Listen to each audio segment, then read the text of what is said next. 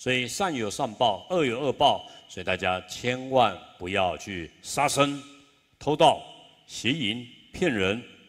你去伤害世界任何一个东西，那你就伤害到你自己。不但不要伤害，各位不要对这个世界升起一个占有欲、贪贪心。如果你去贪这个世界，那你就会变成贫穷啊！你这个眼睛好色。眼睛长得不好看，眼睛就像火在烧，很饥渴啊，好色的眼睛呢。所以，如果你贪财，那你就永远觉得贫穷啊。所以，你要懂得去帮助别人，护持三宝，帮助众生，那你就得到了金钱的福报。你这个嘴巴，哎，念一下，不骗人，口才好。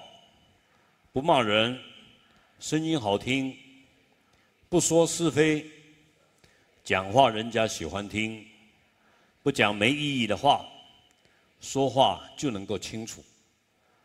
所以我们这个嘴巴，你要发愿，从今天开始，永远讲真实语，永远讲柔软好听的语言，永远啊和和别人，永远讲一些对众生有帮助的话。进一步呢，为众生念一下念佛、诵经、持咒、劝人学佛，相信因果。那各位你要开始转变你自己。所以除了消极的，我们不骂人不骗人；积极的，我们劝人学佛。大家下午还要念地藏经啊！一个人念地藏经。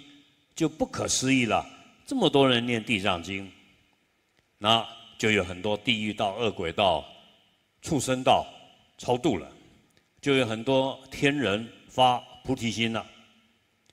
所以释迦牟尼佛到天上为他的母亲讲了地藏经，让世间所有的大神明、天上的天神。了解了众生都是自己的父母子女，所以而发起了帮助所有父母子女离苦得乐的大愿。所以他就是希望我们每个人都懂得这种缘起无我，只能互相帮助，千万不要互相伤害，只能互相的亲近，而不要互相的贪欲占有。